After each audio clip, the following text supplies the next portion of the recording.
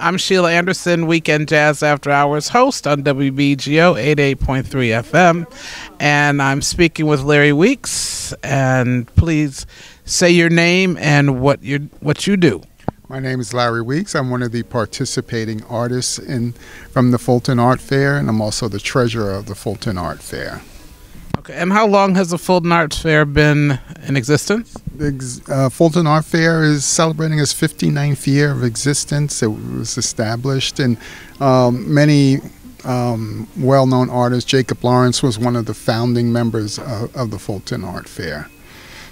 Okay, so for those who may not be familiar with the Fulton Arts Fair, where is it and um, how can people check out the art there? Okay. The Fulton Art Fair um, traditionally has hosted one event a year. It's called the On the Fence, where artists come out and they hang their artwork around the park at Fulton and um, Utica in, in Bed-Stuy, Brooklyn across from Beds, uh, the Boys and Girls High School. And um, like I said, it's been in the past one year event. This year, we started um, hosting other exhibits in Brooklyn, and as well as, as you can see, branching out to other venues such as WBGO. And and again, what is what is your connection with WBGO? How did you um, get into? How did you make the connection between us, jazz, and art? Well, I've been listening to WBGO for, for years, and I, I thought it would be a good connection to have a show uh, around jazz. But um, Ms. Kirk suggested that we do a Women in, in, Black History for Black History Month, and it also overlapped into Women's History Month. So, you know, it's a twofold thing. So we decided to, to participate, and we have about 15 artists who've participated, and the subject matter is all women in, in black history.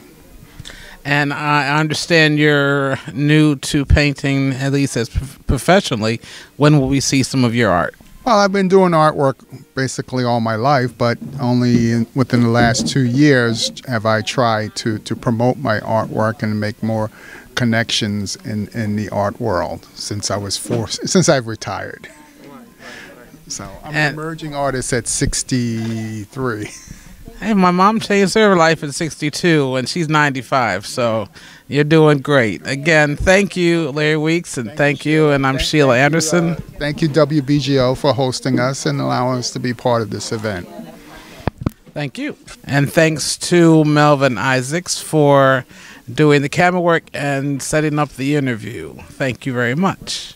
Hi, I'm Valerie Williams, and the person who I chose to represent is Dr. Mae Jemison. And she's the first African American astronaut. She's the first woman to go into outer space. She's a doctor, she's an engineer, and she is just an inspirational person. She's started um, science businesses where she has uh, like five to 10 year olds going to a science camp. She started a science corporation. She's also an inspirational speaker. A few of her ex- quotes, and I'd like to read a few, are You have the right to be involved. You have something important to contribute, and you have to take the risk to contribute it. Don't let anyone rob you of your imagination. Your creativity is your place in the world. It's your life. Go on. Do all you can with it. Make it the life you want to live. Images show us possibilities. A lot of times, fantasy is what gets us through reality. Girls can't do science, except we can. Failure to recognize possibilities is the most dangerous and common mistake one can make. Greatness can be captured in one word lifestyle. Life is, the, is God's gift to you, style is what you make of it. Some of the most fun people I know are scientists. And this is something a lot of people don't realize that scientists and people in the sciences are actual people. We all started with the basic three R's. And some of us just went a little further. And we look at science as something very elite, which only a few people can learn. That's just not true. You just have to start early and give kids a foundation. Kids live up or down to expectations, which is what a lot of people don't realize. The difference between science and the arts is not that they are different sides of the same coin or even different parts of the same continuum, but rather they are manifestations of the same thing. The arts and the science, sciences are avatars of human creativity. Science provides an understanding of a universal experience. Arts provide universal understanding of a personal experience. She is one of the few people who is equating science with art. And it's already been documented that when you start children with art at an early age, it rewires the brain. And those children are more likely to excel in the sciences and in math. These are the kids who are most likely to go to college, which is really heartbreaking when you realize that that's the first thing that they take out of our schools. They take away our art. Uh, that's pretty much all I have with that, but I'd like to show that she has a stamp. This is a stamp that was made for her. She is the only astronaut who appeared on Star Trek. Here she is with Geordi. Okay. And here she is with Worf. Oh, I'm from the sciences, but I didn't know she existed until I started doing this project. And she is a true inspiration to girls, to girls of color, to women, women of color, because she shows us what we can do. I'm one of the artists. Uh, my uh, artwork is uh, hanging up on the wall, uh, and is uh, Shirley Chisholm. So I'm affiliated with the Fulton Art Fair, and also I'm a producer of the uh, Artistic Talent Show, which is aired in Brooklyn at the Brick Medium. Okay, that's awesome. So um, just let us know your name. This way um, we're familiar with with not just the look, but also we could take a walk and look through and, and uh, see your piece. Yes, my name is Melvin Isaac, and I'm from Brooklyn, New York. I'm a native of Brooklyn, and I've been drawing and painting and teaching kids uh, basically about 30 years. So, you know, this is what I do. And what's your uh, media? My medium is uh, oil. Oil. Yes, yes, That's yes, awesome. yes. And is it strictly oil or, or is it diverse? No, it's diverse. Uh, basically, uh, I do pastel, I do pencil, I do uh, acrylic, I do stippling, stippling, and uh, basically I do it all. Do it all. Yes, yes. Well, that is awesome. It was great meeting you, and uh, we look forward to seeing more of your work.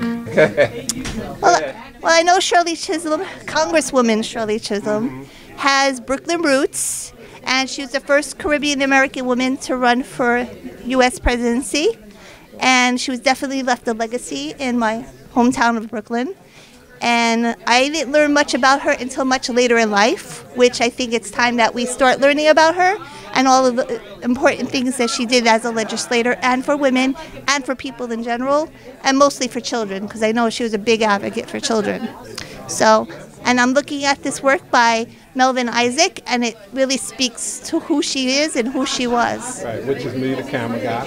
Yes, and it's very nice to meet you. Okay, great, great, great. And thank you for doing this. Thank you. All right, so we're good to go. Thank you. Shirley Chisholm was the first African American woman to run for the president. She was nominated for President of the United States on July the 13th, 1972. When the Congresswoman from New York launched her spiritual campaign, she took on the political establishment. Shirley Chisholm said she ran for the office despite the hopeless odds to challenge the status quo. In her announcement speech, Shirley says, I am not candidate of black American, although I am black and proud. I am not the candidate of the woman movement of the country, although I am a woman and I am proud.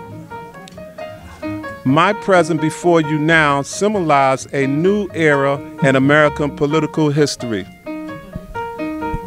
Christendom lost the Democratic nomination to Senator George McGovern of South Dakota.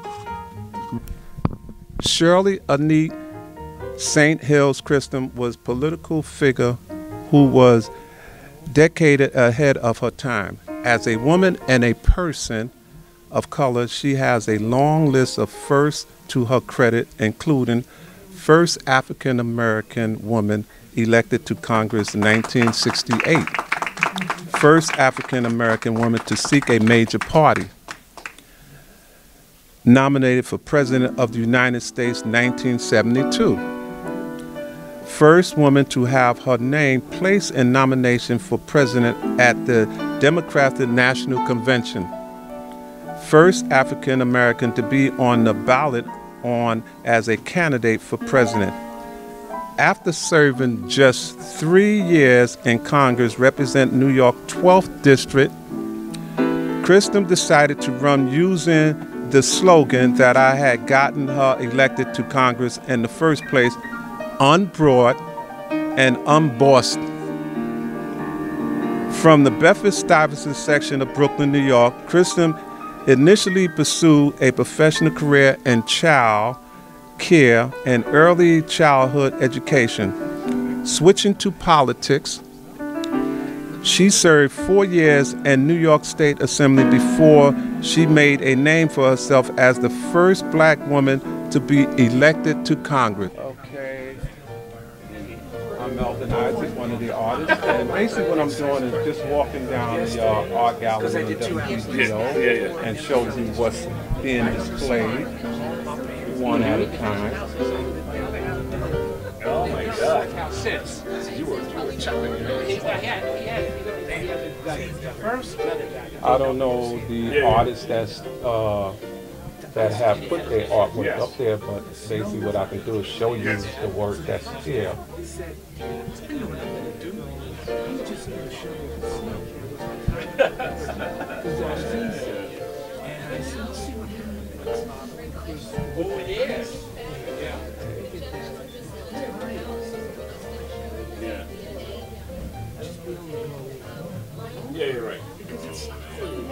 the work is being displayed today uh, from from six to yeah, eight. Yeah, nice. It's got to go too. And this is uh, March the 16th at WBGO. I see lots of amazing, fantastic art with really, really talented artists, a lot of historical figures, a lot of musical figures, all women, trailblazers, leaders, uh, really led the way for people now and people that everybody at this time needs to learn about and know about because they uh, history repeats itself so they taught us a lot of important lessons and the art is beautiful, absolutely beautiful. The colors, the three dimensional pieces, it's wonderful. I'm really glad they have this. Thank you very much. Thank you. Watch your feet. Watch your feet.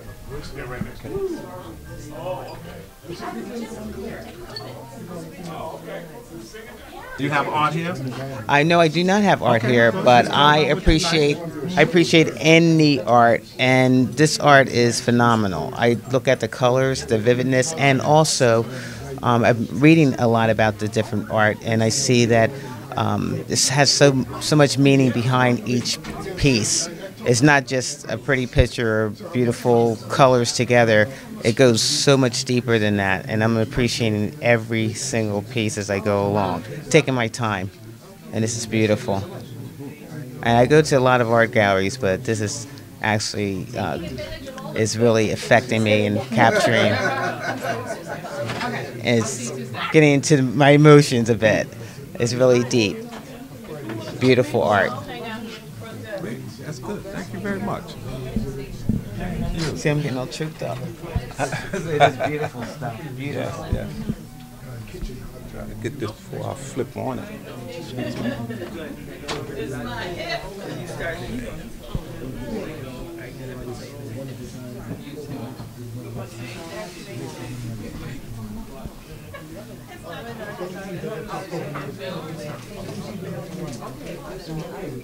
Alrighty, so I'm uh, Nadine Mattis.